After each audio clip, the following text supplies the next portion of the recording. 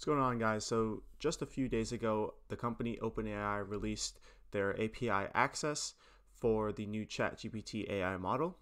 So, basically, if you don't know what ChatGPT is, it's this chatting assistant model that OpenAI has created that you can talk to, and it can do basically anything that you need it to from you know creating a casual conversation to giving you cooking recipes to writing emails so it's just super useful and it's being trained off of data on the internet and data that people are interacting with.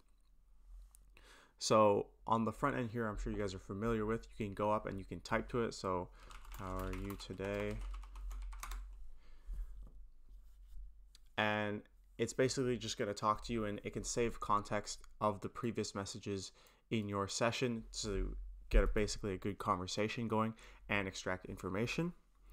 And now with these new API releases, basically what that means is you're going to be able to call this model and get answers the way you are on this website, except you're going to be able to do it through your backend and through code like Python.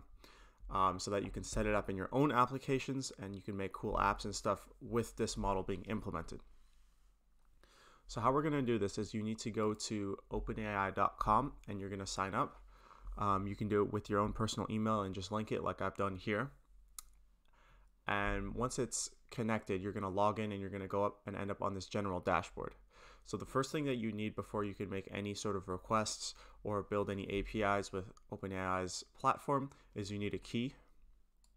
So to do that, go to your personal account and go to view API keys. Now mine are hidden here. As you can see, these are the two secret keys I've already generated. But what you're going to do is you're going to click create new secret key. And that's just going to generate you a randomly generated key. And you're going to copy that and you're going to save it. That's what you're going to use to authenticate all of your different requests. Once you have that, we're going to go over to Visual Studio Code. And again, this tutorial is going to be for Python, but there are also other ways through HTTP requests to get what you're looking for out of the ChatGPT APIs. But basically, once we're here, um, in order to do it with Python through this method, you also need OpenAI's library. So to get that, we're just going to do pip install OpenAI. And you should get this message saying successfully installed OpenAI.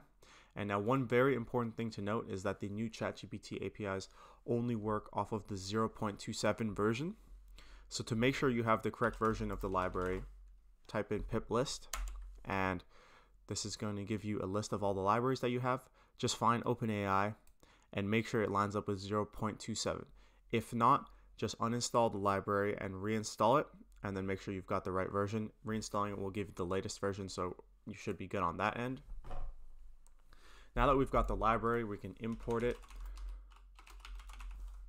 and you're also going to import your key. So you can either hard code it and straight paste it, or you can use some sort of environment variable. In this case, I'm just going to be bringing it from a different file because I don't want to show it on screen.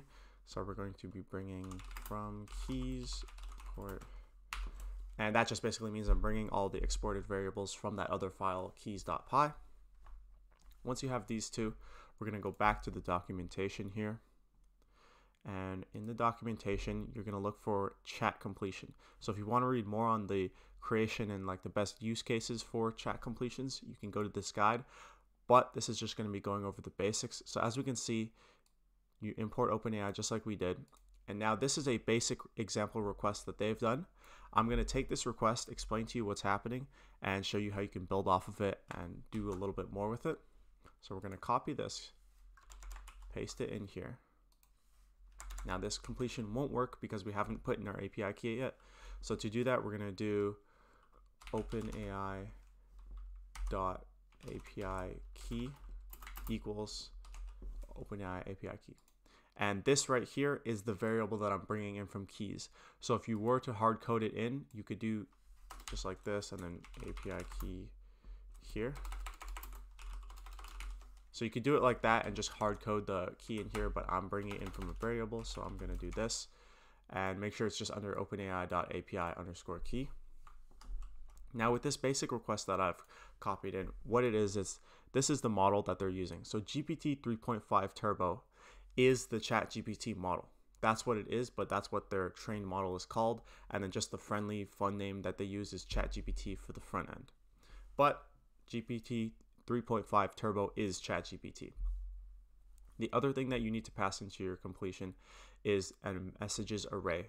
So the messages array is the equivalent of your conversation history on the front end here. So as you can see, there's a back and forth that's being kept track when you talk with GPT on the front end website. That is a mimic of this messages array right here, with the exception of one more instruction. So if you'll notice that there is a role that is set to system, this is the instructions that you're going to be giving to ChatGPT to tell it what its job is. So here, their basic example said, you are a helpful assistant, but you can modify this and change it the way you want to make ChatGPT more customized to your needs. So you could say you are a email writing assistant. And now it knows that it's going to be specified for emails. You can give it even more instructions on its personality, saying you are polite and funny. That'll sort of tailor its responses to what you're looking for.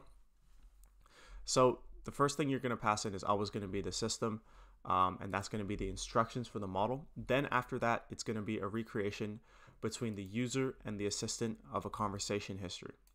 So user is what you or me are expecting to type. So that's our messages right here. The hey, how are you today? From the messages from us go in as the user inside the content. And then the messages as the role of the assistant, the content is what the model has already given back to you. So, hey, hello, how can I assist you today? Stuff like that. If you have no past conversation that you want to pass in, you can basically just not worry about this stuff. And let's say you're starting the conversation from fresh, you can go right off the bat and say, hey, what's up? So in order to get this running, we're going to equate this response to a variable. And then let's take a look at what this variable will be returning.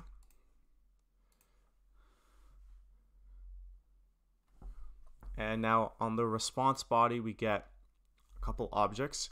So what's going on here is inside choices, you're going to look for the messages field and messages content is what the model would have spit back.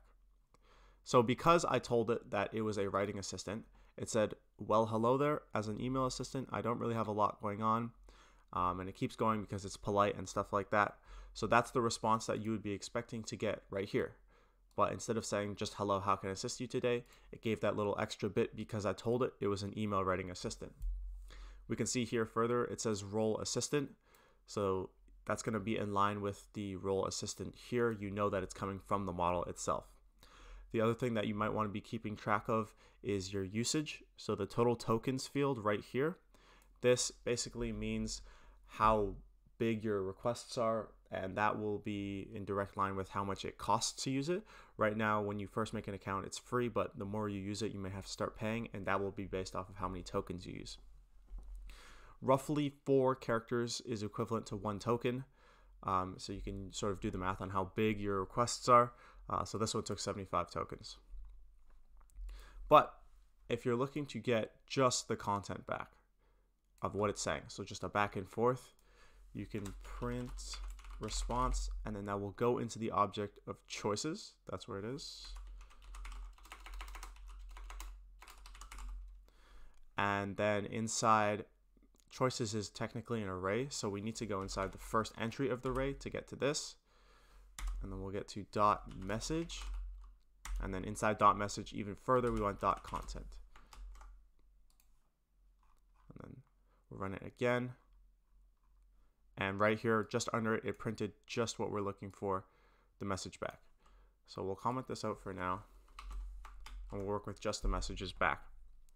So let's say we want to mimic, let's say we're halfway through a conversation and I'm going to show you how you can use ChatGPT a little bit more to have a context saved conversation. So let's say I'm going to start it off with saying, how do I make a sandwich? We'll send that in. and we got back a nice response here. Obviously, it's pretty basic. It's talking about peanut butter jelly sandwich. So we'll put that in here into our assistant. Now remember, we've told it that it's an email writing assistant. So once we give this content, this has nothing to do with an email, but we'll make it have to do with an email. So now we've recreated the conversation history with a user and an assistant. And then next step, we'll say, can you turn that into an email? And so now all these will be passed and the context can be saved for the model to understand what you're talking about. If you had just said, can you turn that into an email, it would have no idea what you're talking about. But because you've passed the past questions in and also the responses, the model will be able to make some sense of it. And now it can turn that discussion about uh, making a sandwich into an email. So here you go. Of course, here's a possible email and then the subject, sandwich making made easy. And then it breaks it down into a nice email format you know you could copy paste this do whatever you want with it. Um, and that's basically how you make it context saving and have a sort of back and forth through api requests just the way you would um, on the front end here. So that's just the basics of how you make requests through python with openai's model. Um, hopefully that can get you started doing some work locally. This new model is really exciting. There's obviously a ton that you can do with it. I'm sure you've already seen it from the front end and now you can get to work uh, implementing it into whatever applications you're using. Um, so that's everything from me. Thanks for watching, guys, and uh, take care.